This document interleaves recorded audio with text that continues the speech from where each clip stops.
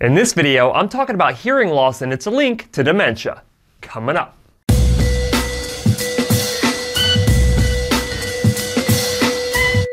Hi guys, Cliff Olson, Doctor of Audiology and founder of Applied Hearing Solutions in Anthem, Arizona. And on this channel, I cover a bunch of hearing related information to help make you a better informed consumer. So if you're into that, make sure you hit that subscribe button. And don't forget to click the bell to receive a notification every time I release a new video. All right, guys, it is about that time that we have that talk about hearing loss and its link to dementia. At this point, you probably have heard about this link already, and for some of you, it might have been the deciding factor in your decision to actually treat your hearing loss. But in this video, I actually want to get into some of the research and show you the actual link between hearing loss and dementia and what that actually means. Up until the Lancet Commission was tasked with identifying the preventable risk factors, interventions, and care for dementia, one of the more popular studies that was out there was done by Dr. Frank Lin. This paper was titled Hearing Loss and Incident Dementia. This term incident dementia is defined by when a study participant was not demented at the time of baseline testing and received a new diagnosis of dementia upon follow up at some point down the road. In the conclusion of this paper, they wrote, in this study, we found that hearing loss was independently associated with incident all-cause dementia after adjustment for sex, age, race, education, diabetes, smoking, and hypertension, and our findings were robust to multiple sensitivity analyses. What they mean when they say that hearing loss is independently associated with all-cause dementia, they're actually talking about how they were able to identify that hearing loss in and of itself was the only factor in play when they controlled for all of those other variables. Essentially meaning when they come up with these test results, they know that it is not due to age, it is not due to gender, it is not due to anything else other than just the hearing loss alone. This graphic illustrates how the researchers found that individuals with a mild hearing loss were 200% more likely to experience dementia, 300% more likely if you have a moderate hearing loss, and 500% more likely with a severe hearing loss.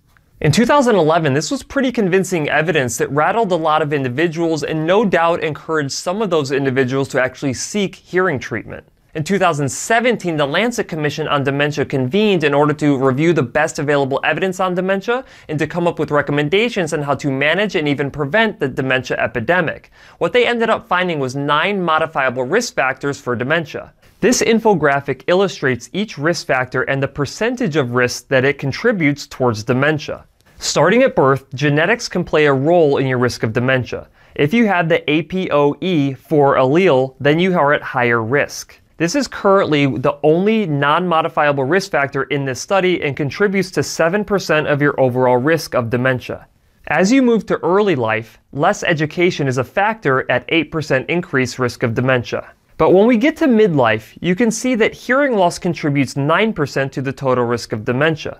This happens to be the single highest potentially modifiable risk factor for dementia. As you move into late life, you have other risk factors like depression and social isolation, which also happen to be well documented side effects of untreated hearing loss. And you could make an argument that if you add these percentages together, untreated hearing loss would account for 15% of the increased risk of dementia. Now, when it comes to hearing loss, the Commission explicitly stated Results of cohort studies that have investigated hearing have usually shown that even mild levels of hearing loss increase the long-term risk of cognitive decline and dementia in individuals who are cognitively intact but hearing impaired at baseline. Furthermore, they indicated that age 55 is the youngest average age in which the presence of hearing loss led to an increased risk of dementia. So even if you are a young individual and you don't think that you need to treat your hearing loss, think again. All this being said, does it mean that if you treat your hearing loss that you won't get dementia? No. Does it mean that if you don't treat your hearing loss that you will get dementia? No.